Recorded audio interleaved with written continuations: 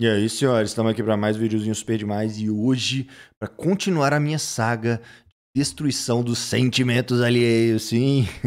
tá virando rotina aqui no canal, velho. Virei o caçador de sentimentos, entendeu? O pessoal que leva tudo, ó, ó, pro lado emocional e não é isso que vai acontecer aqui. Dessa vez, qual que é o caso? Caso Gudivito. Gudivito que é o atleta russo, fisiculturista que veio morar no Brasil, para poder trabalhar para a Integral Médica. E daí o patrocínio dele foi encerrado. E isso está gerando toda uma celeuma, toda uma discussão em cima aqui. Que, ao meu ver, é, praticamente tudo é muito descabido, mas tem dois pontos de extrema relevância, muita relevância, que são os pontos chaves, e esses aí, ó, são deixados totalmente de lado, né?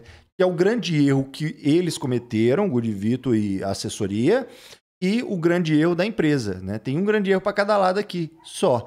Entenderam? E aí, ó, tá aqui, gente, ó. Ironberg Podcast, né? Likezão aqui para eles, óbvio, fortalecer. E vamos ver aqui o que, que a gente. A gente precisa de um pouco de informação para fundamentar, né? Então vamos pegar aqui um trecho que ele vai passar umas informações relevantes. Vai. Oh, teu contrato não vale. Você não tem contrato. Você Qual tá foi a justificativa? Você tá, você tá aqui pro CLT. Cadê o seu condicional? Você assinou o contrato, mas você tem contrato? Está na tua mão o contrato? Não, então não, você não tem contrato. Peraí, deixa eu, eu vou concluir. Você não tem contrato. Não, mas. É, passa essa notícia para ele, ele está tá demitido. Falei, não interessa mais. Não interessa mais, não interessa mais.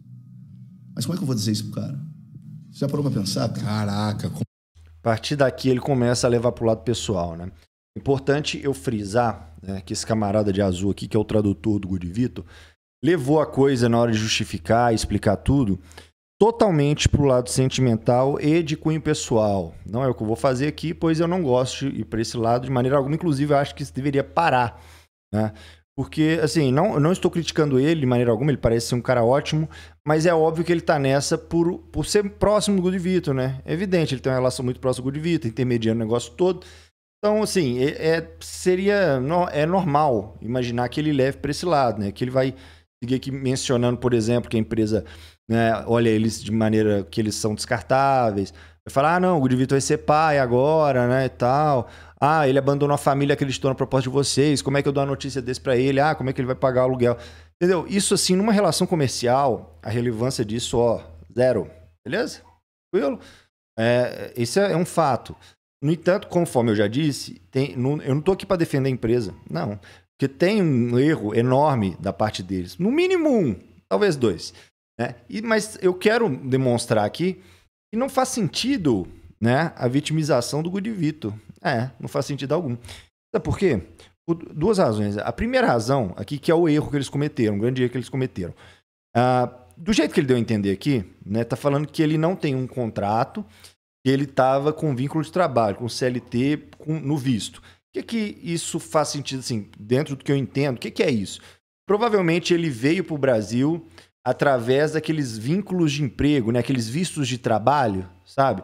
E a empresa tem que falar, ó, tô contratando esse cara, ele vai vir para cá, ele vai morar aqui e tá aqui, ó, eu me responsabilizo. Tem isso nos Estados Unidos também. É o que tá dando a entender aqui, tranquilo? É o que tá aparecendo. Aí ele assinou alguma coisa? Óbvio que ele assinou alguma coisa, mas aí não é um contrato vigente. Agora vamos imaginar, vamos imaginar uma situação que ele tivesse um contrato, né? Que a Integral aí tá mentindo e que ele teria um contrato. Bom, se a Integral tá falando que vai dar 2 mil para ele aqui e acabou, é porque o contrato dele tinha uma cláusula de rescisão de 2 mil.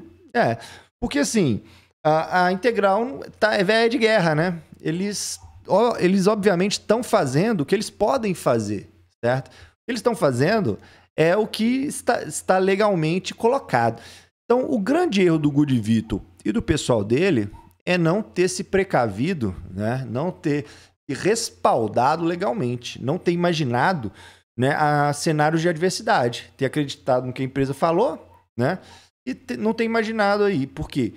É, sim, se ele, se ele veio nesse negócio do visto de trabalho, aí realmente é tipo um CLT.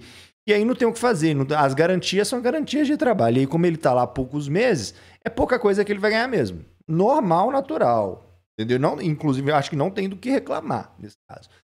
Agora, se ele fez contrato, né? Uh, então aí sim, eles poderiam ter avaliado e feito um contrato melhor, bom para ele, com cláusulas de rescisão, tal, tempo previsto, etc, etc. Então assim, o grande erro por parte deles é isso, é não ter feito essa negociação da, da maneira mais profissional possível, certo? Agora eu vou explicar por quê, por quê que vitimização do Goodvit não faz sentido nesse caso. E aí vem isso, é o que explica o erro da empresa. Que é o quê? Olha só, galera. Primeiro ponto. Primeiro ponto chave aqui. Guri Vitor tem 25 anos, virou profissional ano passado e basicamente é o atleta que vive no Brasil Open com o maior potencial de todos. De todos! Como é que você vai falar? Como é que você vai levar? Entendeu? Como é que você vai vitimizar o cara que é basicamente o maior potencial que está aqui pisando aqui nesse país? Né? Não faz sentido, né? Pois é. Tipo, eles eh, do jeito que é salário, assim, fica, não, a empresa abandonou a gente. Só que assim, depois eles, eles mencionam também que acabou que, ah, isso é bom, porque aí, né, fecha, fecha uma, uma janela, abre uma porta, aquele negócio todo. E, e assim, atribuíram isso a Deus, eu acredito em Deus, mas o ponto principal é que, assim, velho, no Brasil tá cheio de empresa investindo pesado. Nós estamos no ápice no momento aqui do fitness, do fisiculturismo no Brasil. É óbvio que as empresas vão querer trabalhar com um cara que aí a curto, médio prazo pode ser o principal atleta open daqui, cara. Óbvio. Entendeu? Tipo, poxa, eles é, não precisavam tratar dessa maneira, entendeu? Velho, o Guri Vitor, o Guri Vitor, ele é foda, ele é sinistro mesmo, entendeu? Esse cara aqui, ó, ele pode, ele pode em muito pouco tempo, não seria nada estranho, em muito pouco tempo, o Guri Vitor tá brilhando lá no topo do Olímpia. É, entenderam? Isso aí é. Não, e, assim, não é viagem da minha cabeça isso. Acho que isso, assim, para quem percebe, se o cara realizar o trabalho, ele vai chegar lá, cara. Ele só tem 25 anos, inclusive. Vai chegar lá antes dos 30. Vejam só, chegar antes dos 30. Isso aí, isso aí é raríssimo de acontecer. Chegar no topo do Olímpia, assim, novo. Então, olha só. A, a empresa, ela tá cometendo um erro, ao meu ver, é de não saber trabalhar com o cara. Então, assim, eu não sei quanto ele ganhava. Agora vem a parte da incógnita. Eu não sei quanto ele ganhava. Eu não sei se ele é bom de trabalho, se ele fazia o que foi proposto ou não, etc. Isso tudo, galera, é acordado, certo? O que é evidente é que a empresa não está sabendo trabalhar o cara, né? Então, assim, uh, o cara tem um potencial grande, ele precisa de uma empresa que saiba trabalhar com ele. E ele também precisa ser bom de, nisso. Mas aí você pode botar tudo no papel. Se ele não, não entregar, né? Adeus. Não sei se é o caso, mas do modo que eu vejo, né, tendo uma visão mais empresarial da coisa, a situação é que a, a empresa ela errou, ela errou potencialmente em não saber trabalhar com um cara desse, né? Porque não, é, eles que proporam as coisas pro Gurivito, né? Eles devem ter as razões deles também, né? Então, assim, é complicado eu falar isso. Mas a outra coisa é eles não terem previsto também Uh, o fato óbvio, evidente, que a gente está no Brasil e aqui todo mundo leva tudo pro lado sentimental. E que isso aqui ia acontecer. Que iam ficar assim, ah, nossa, e agora? Vocês abandonaram ele, como é que ele vai ficar? Como é que ele vai ficar? As outras empresas vão se degladiar para ter ele, pô. É assim que ele vai ficar, ele vai ficar na moral. Ele vai ficar de boa. Se ele trabalhar bem, sempre vai ter gente querendo trabalhar com ele. Sempre, sempre. Porque esse cara aqui, ele vai, ele vai chegar onde ele quiser, entendeu? Tá dependendo dele ele ir longe na carreira.